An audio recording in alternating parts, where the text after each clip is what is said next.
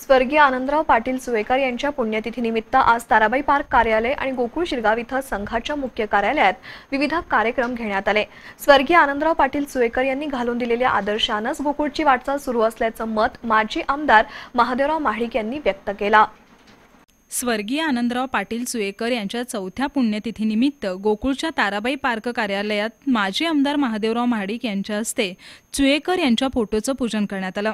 यावेळी गोकुळचे अध्यक्ष विश्वास पाटील आणि संचालक उपस्थित होते. अमृत महोत्सवाकडे यशस्वी वाटचाल करणाऱ्या गोकुळनं भूमिहीन शेतमजुरांचं जीवनमान उंचवण्याचं काम केलंय. यासाठी स्वर्गीय आनंदराव पाटील यांनी मोलाचं योगदान दिलंय. त्यांनी घालून दिलेल्या आदर्शानंच गोकुळची वाटचाल सुरू असल्याचं महादेवराव महाडिक यांनी नमूद केलं.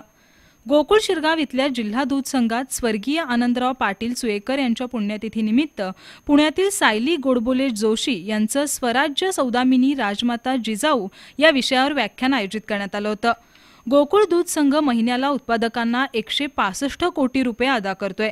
स्वर्गीय आनंदराव पाटील यांनी घालून दिलेल्या धड्याप्रमाणे वाटचाल करत असल्याचं विश्वास पाटील यांनी सांगितलं.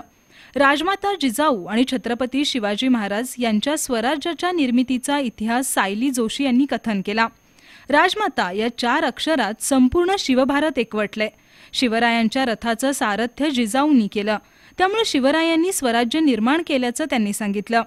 गोकुळ कर्मचाऱ्यांना तीन हजार सातशे रुपये वेतनवाढ केल्याबद्दल गोकुळ कर्मचारी संघटनेच्या वतीनं अध्यक्षांसह संचालक मंडळाचा सत्कार करण्यात आला.